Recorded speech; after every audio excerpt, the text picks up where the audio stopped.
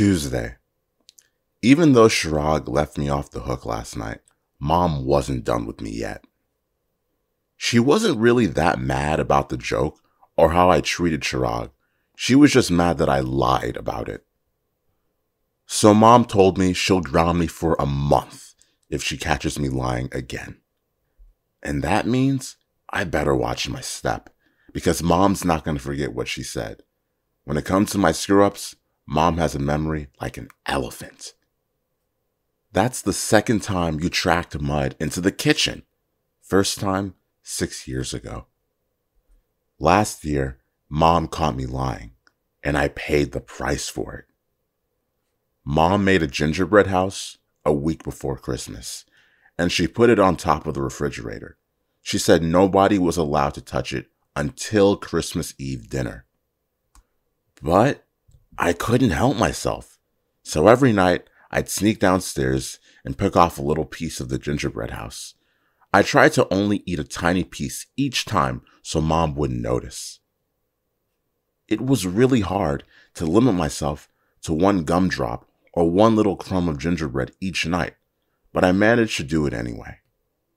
I didn't know how much I had actually eaten until mom took it down off the fridge on Christmas Eve.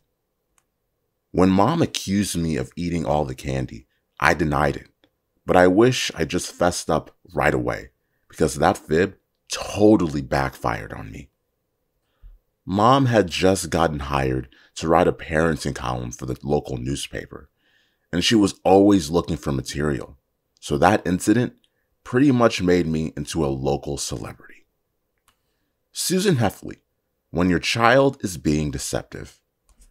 The weeks leading up to Christmas can be a source of stress for a child and can harbor unforeseen temptations my son Gregory found that, you know, now that I think about it, mom isn't exactly squeaky clean when it comes to being honest herself.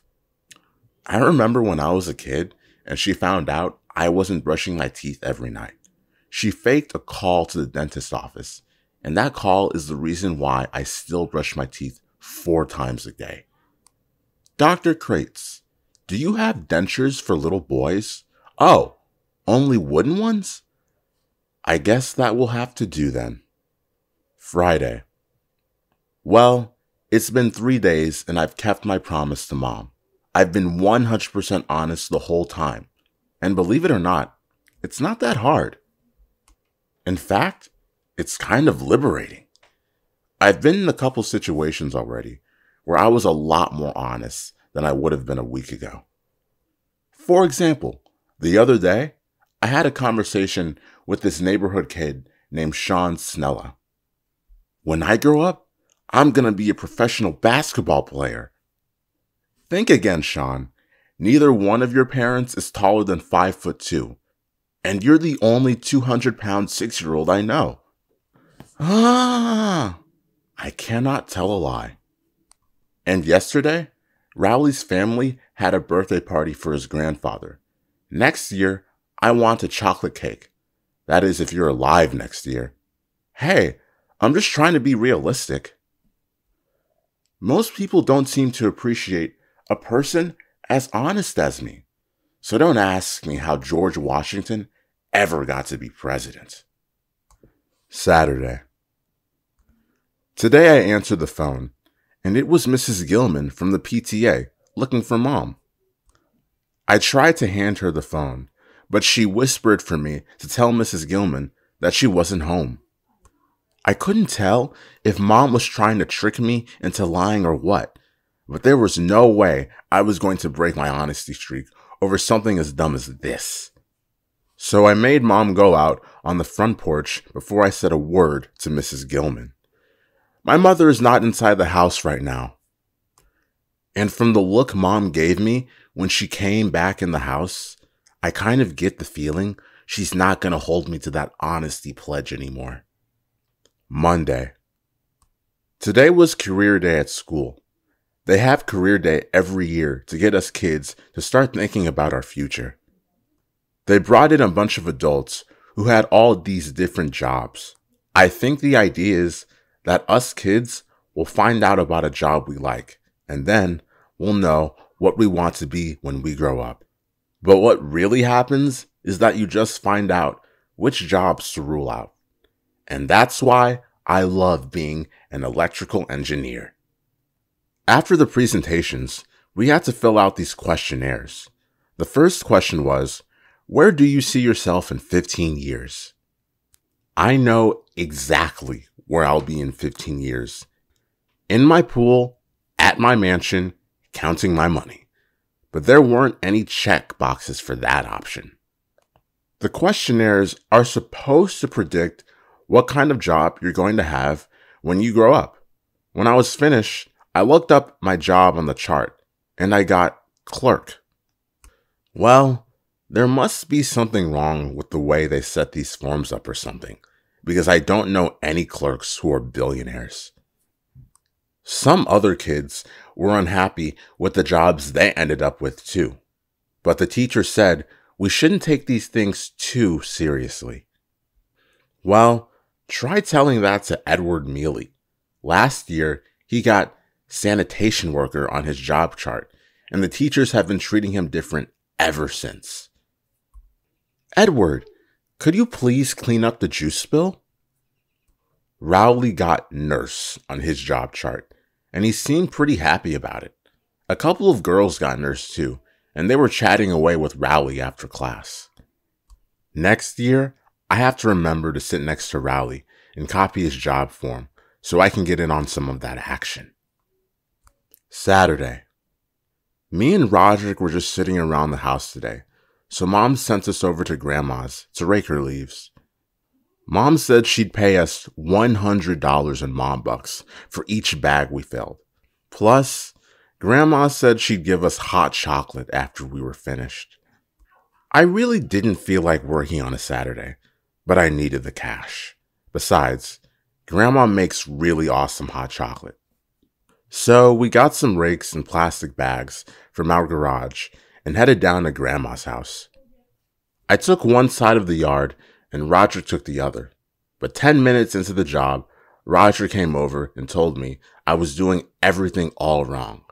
No, no, no. Rodrick said I was putting away too many leaves in each bag, and that if I just tied the bag closer to the bottom, I could get done a lot quicker. See, now this is the kind of advice you're supposed to get from your older brother. After Rodrick showed me that trick, we went through bags like nobody's business. In fact, we ran out in half an hour. Grandma didn't seem too happy about forking over the hot chocolate when we came inside. But like they say, a deal's a deal. Monday. Ever since career day, Rowley has been spending lunch with a bunch of girls who sit at the corner table in the cafeteria. I guess the group of them is like the future nurses of America or something.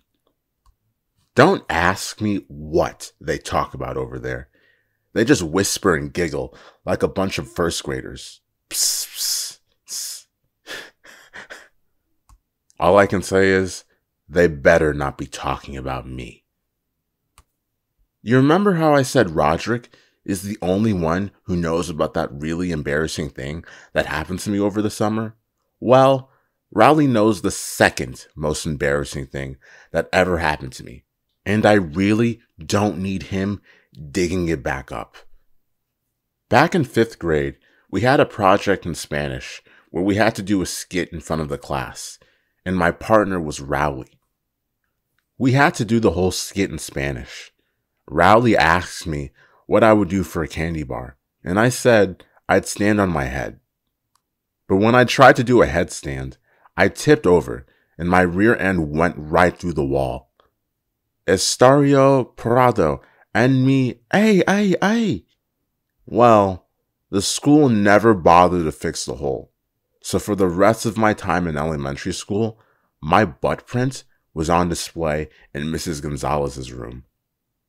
And if Rowley's spreading that story around, believe me, I'm going to tell the whole world who ate the cheese.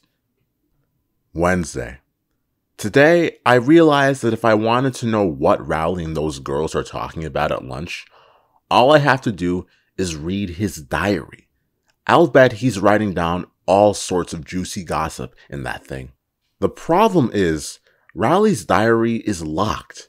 So even if I had a hold of it, I wouldn't have any way to open it. But then I thought of something. All I had to do was buy the same exact diary he has, and then I'd have a key. So I went to the bookstore tonight and got the last one on the shelf.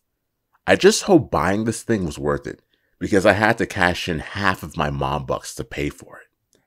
And I don't think dad was too thrilled with the idea of me buying a Sweet Secrets diary either. Thursday. After phys ed today, I saw that Rowley accidentally left his diary on the bench. So, when the coast was clear, I used my new key on his diary, and sure enough, it worked. I opened it up and started reading. I flipped through the rest of the book to see if my name was in there anywhere, but it was just page after page of this garbage. After seeing what's going on in Rowley's head, I'm kind of starting to wonder why I'm even friends with him in the first place. Saturday. Things at home have been really good for about a week. Rodrick has the flu, so he doesn't have the energy to bother me. And Manny has been at grandma's, so I've had the TV all to myself. Yesterday, mom and dad made a surprise announcement. They said they were going away for the night and that me and Rodrick were in charge of the house. That was some pretty big news because mom and dad have never left me and Rodrick on our own before. I think they've always been afraid that if they go away, Rodrick is going to have a huge party and trash the house. But with Rodrick knocked out with the flu, they must have seen their big chance. So after mom gave us a speech about responsibility and trust and all that, they took off. The second mom and dad walked out the door, Rodrick jumped off of the couch and picked up the phone. Then he called every friend he knew and told them he was having a party. I thought about calling mom and dad to tell them what Rodrick was up to, but I've never actually been to a high school party before. I was curious. I decided to just keep my mouth shut and soak it all in. Rodrick told me to get some folding tables out of the basement and bring a couple of bags of ice out of the downstairs freezer. Rodrick's friends started to show up around 7 o'clock, and before you knew it, there were cars parked up and down the street. The first person to walk through the door was Rodrick's friend Ward. A bunch more people started showing up after that, and Roger told me we were going to need more tables. So I went downstairs to get them. But as soon as I stepped foot in the basement, I heard the door lock behind me. I pounded on the door, but Roger just cranked up the music to drown me out, so I was stuck down there.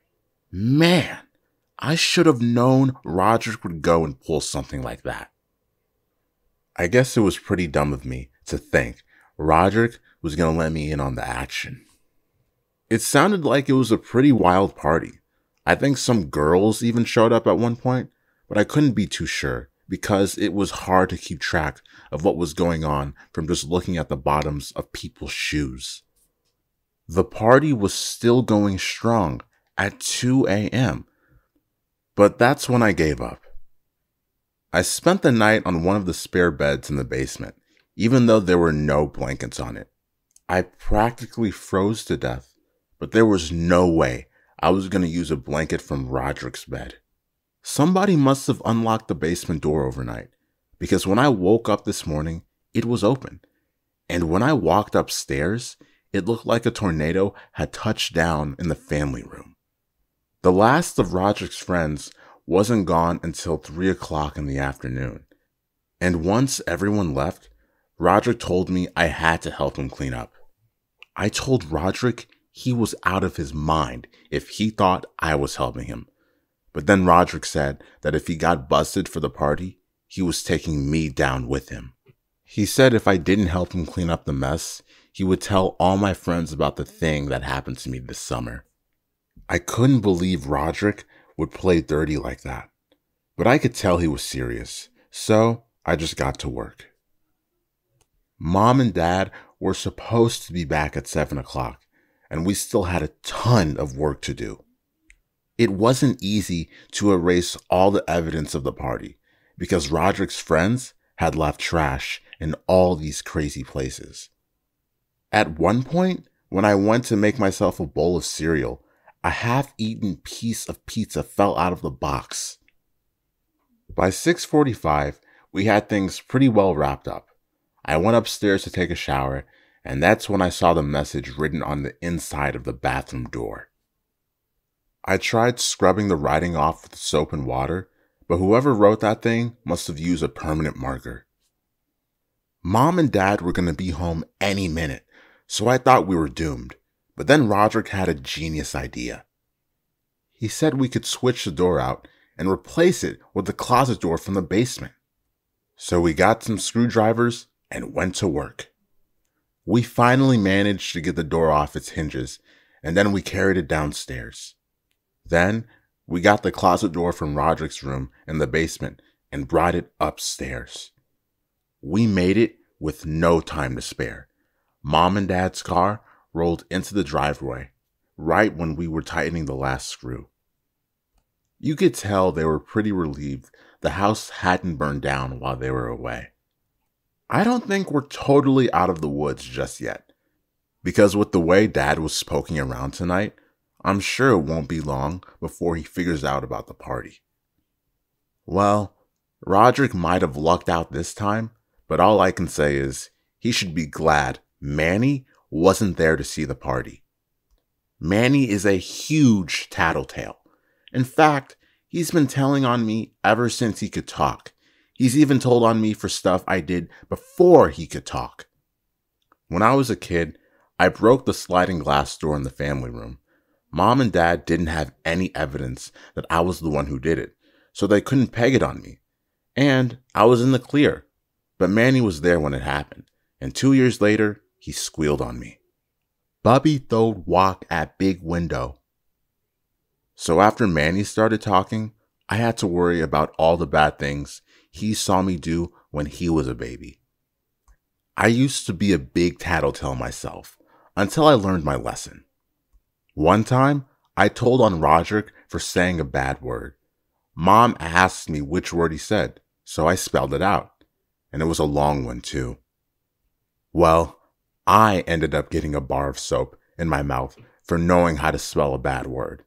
And Rodrick got off scot free.